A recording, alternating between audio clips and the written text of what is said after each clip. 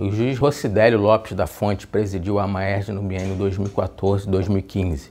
A firme atuação dele em defesa dos magistrados mobilizou a classe em torno de um pleito antigo, o de democratização do judiciário.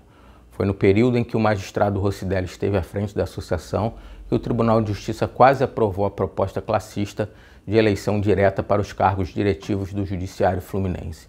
Por apenas dois votos, lembra o hoje juiz titular da 36ª Vara Civil, o tribunal deixou de atender a reivindicação da magistratura do Estado do Rio de Janeiro. A entrevista de Rocidélio Lopes da Fonte integra a série Amaer de 30 anos. Ao longo de 2021, a associação tem postado filmes com os depoimentos de alguns dos principais personagens dessas três décadas. Vamos ouvir a narrativa do ex-presidente. Como os demais entrevistados, ele tem muito a contar.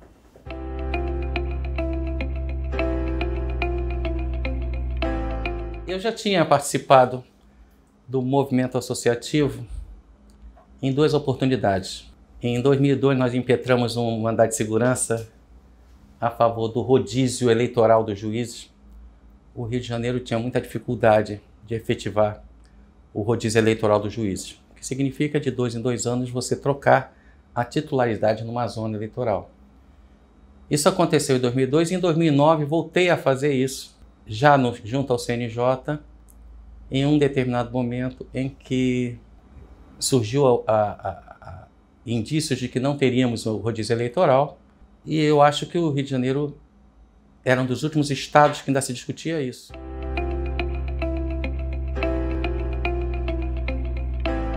O Cláudio Delorto que, que foi meu antecessor na Maerj, sugeriu que eu fosse candidato e eu aceitei. Era, o Cláudio é um, é um amigo querido de muitos anos e eu concorri à, à Maerj e fiquei dois anos aqui. Essa, trajetória corporativa, ela não acabou na Maerj. Hoje eu ainda sou do Conselho Fiscal da Multa Outros Magistrados e do Conselho Fiscal também da Magicred Cooperativa do, do juiz. Né?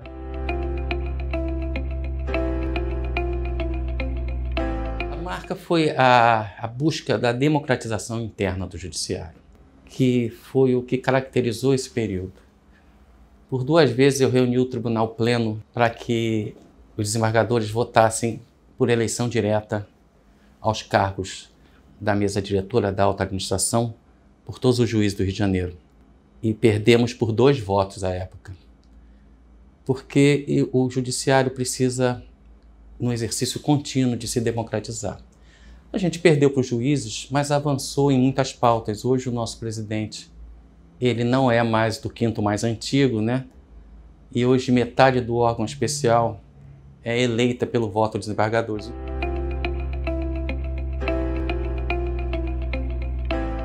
E foi uma luta a nível de Brasil nessa época. Eu peguei um período de dificuldades a presidente era Dilma, uma pressão muito grande de que depois veio a ser vitoriosa pelos 75 anos, a gente tentou impedir a aposentadoria compulsória aos 75 para que tivesse a, a, a carreira conseguisse ser mais ágil e tudo, mas infelizmente nós não conseguimos manter a nossa proposta de 70 anos.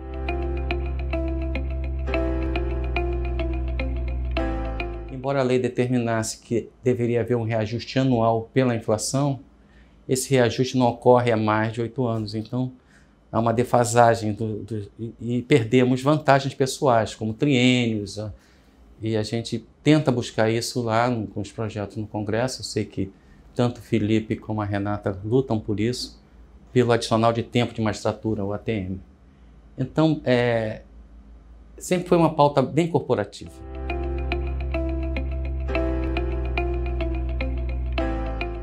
Tribunal do Rio de Janeiro, ele é mais próximo aos juízes do que outros tribunais. Então nós temos uma infraestrutura de trabalho bastante razoável. Mas essa defasagem salarial, ela, ela persiste até hoje. E é uma luta corporativa, uma luta da associação.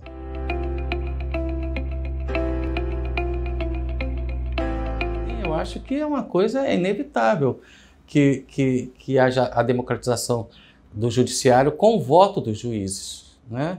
A gente não pode ter dois tribunais, um no primeiro grau e um no segundo grau. o, nós respondemos a tudo. Nós temos que unificar essa situação. Não é o, o, fato de, de termos perdido naquele momento histórico que a gente não vai conseguir. Com certeza a gente tem projetos de leis na Câmara do Deputado com relação a isso e a gente tem que continuar brigando.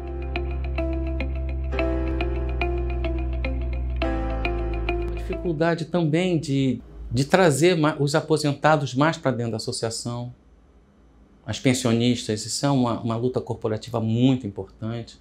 A gente deve respeitar quem deu a vida toda aqui dentro pelo Tribunal do Rio de Janeiro. Isso a gente, a gente é uma obrigação moral nossa.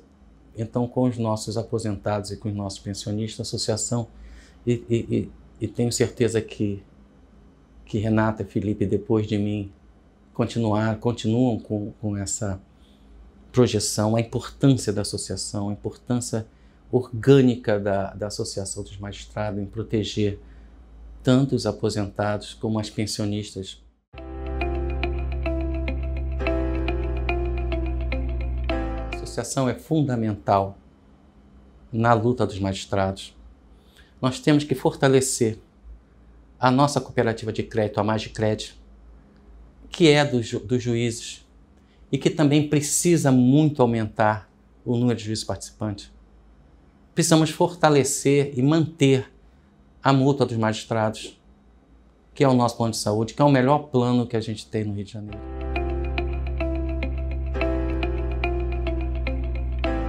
Precisamos é, é, é, é, é manter as nossas conquistas e avançar em termos de, de principalmente independência e autonomia financeira do judiciário a nível nacional.